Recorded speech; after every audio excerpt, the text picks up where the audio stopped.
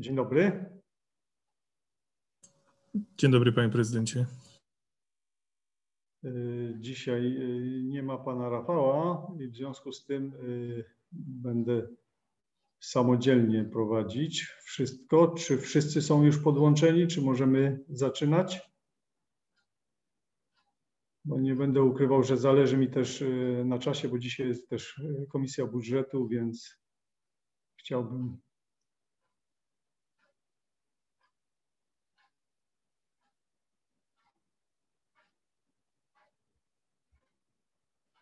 Tak? Czy... Tak, można zaczynać. Można zaczynać. Y, jest gotów? Tak. Tak, jest na pewno, bo nie odzywa się, ale jest tylko puszką.pl Radio 90 tak, dzień dobry, jesteśmy. Dzień dobry. Jesteśmy gotowi tu i pan. E,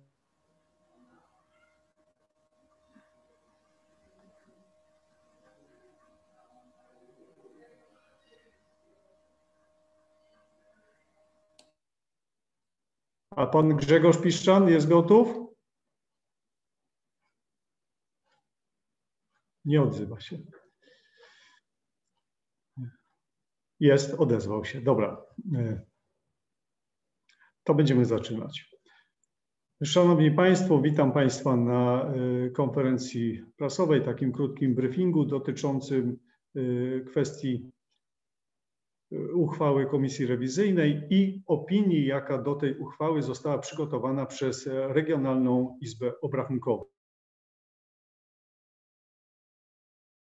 Się za pośrednictwem państwa do wszystkich Raciborzan. Mamy kolejną odsłonę policzy...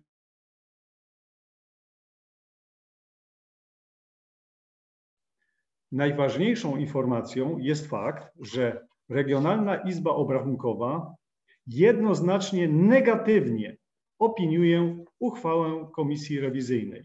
Tutaj mamy ten dokument. Y, uchwałę Komisji Rewizyjnej oznacza to, że Regionalna Izba Obrachunkowa nie zgadza się z tym, co wnioskuje Komisja Rewizyjna.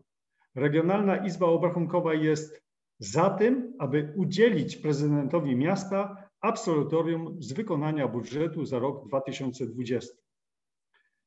W uzasadnieniu do swojego postanowienia Regionalna Izba Obrachunkowa jednoznacznie wskazuje, że argumenty, jakich użyła Komisja Rewizyjna, absolutnie nie mogą być brane pod uwagę w sprawie udzielenia absolutorium z wykonania budżetu. Są to argumenty, które w ogóle nie dotyczą tej sprawy. Oznacza to, że po raz kolejny gra polityczna jest stawiana ponad procedury,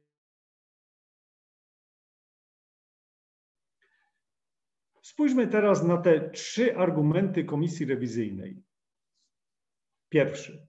Komisja rewizyjna mylnie argumentuje, że nie można udzielić prezydentowi absolutorium, bo prokuratura prowadzi śledztwo w sprawie wiceprezydenta Wacławczyka. Przecież to ci sami ludzie skierowali tę sprawę do prokuratury, aby potem używać tego argumentu przeciw prezydentowi. Regionalna Izba Obrachunkowa wskazuje, że nie ma żadnego związku z wykonaniem budżetu. Ponadto wszyscy wiemy, że prokuratura szybko wyjaśniła sprawę, stwierdzając, że żadnego naruszenia prawa nie było i umorzyła postępowanie. Kolejny argument, drugi. Komisja rewizyjna mylnie argumentuje, że nie można udzielić prezydentowi absolutorium, bo w podziale środków na sport naruszył zasady udzielania dotacji. Szanowni Państwo, Regionalna Izba Obrachunkowa stwierdza, że prezydent wykonał te zadania zgodnie z uchwałą Rady Miasta.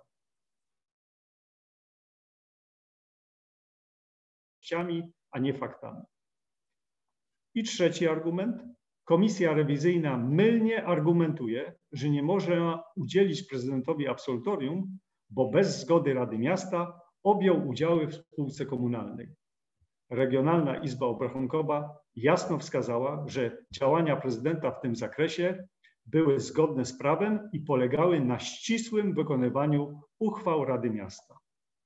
Jak Państwo widzicie, trzy argumenty i wszystkie trzy zostały przez RIO w sposób jasny wyjaśnione na korzyść prezydenta.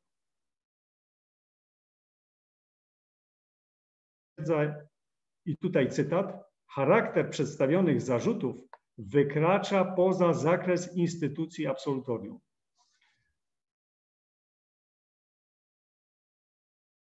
Komisja rewizyjna stwierdziła również, i tu pozwolę sobie zacytować.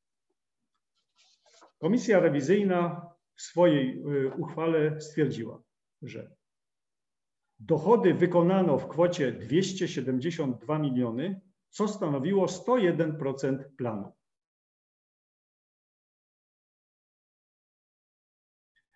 Kolejny element. Wydatki zrealizowano w kwocie 242 miliony, co stanowi 91% planu. Budżet miasta zamknął się w roku 2020 wynikiem dodatnim w kwocie 29 milionów. Ze środków budżetu miasta spłacono pożyczki i kredyty w kwocie 4,5 miliona. I tu jeszcze raz cytat. Prezydent miasta, realizując zadania z wykonaniem budżetu, kierował się zasadą celowości, legalności, rzetelności i oszczędności w gospodarowaniu środkami publicznymi. Największy wpływ na wykonanie budżetu gminy miały czynniki zewnętrzne w postaci pandemii COVID-19 i skutków, jakie wywołała w sferze gospodarczej i społecznej. To jest cytat z dokumentów Komisji Rewizyjnej.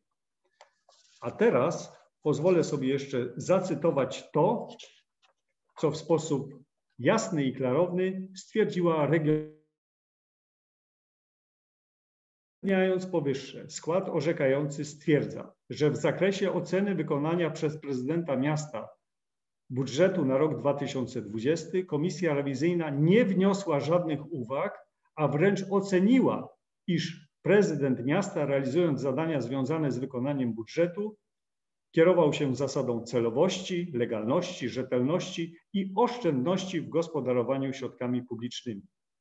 Natomiast przedstawione przez Komisję Rewizyjną Rady Miasta Racibórz zarzuty i nieprawidłowości nie są związane bezpośrednio z wykonaniem budżetu jednostki samorządu terytorialnego i w związku z tym nie mogą stanowić przesłanek uzasadniających sformułowanie wniosku o nieudzielenie absolutorium prezydentowi miasta.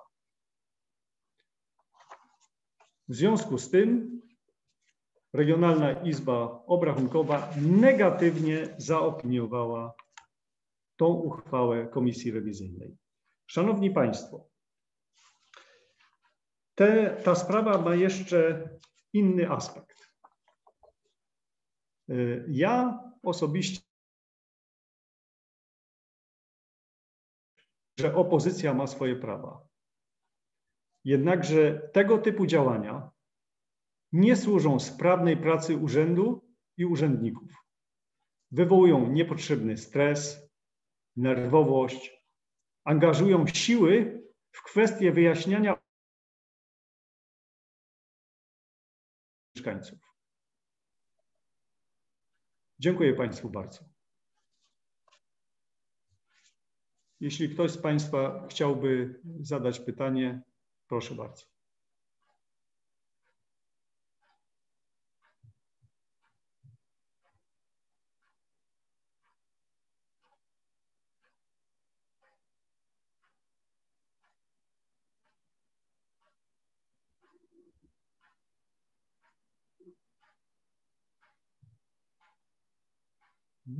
Nie ma chętnych?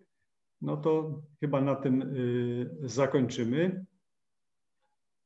Pozwolę sobie jeszcze też Państwu tekst tego y, oświadczenia przesłać y, pocztą elektroniczną. Dziękuję Państwu bardzo i do, do zobaczenia.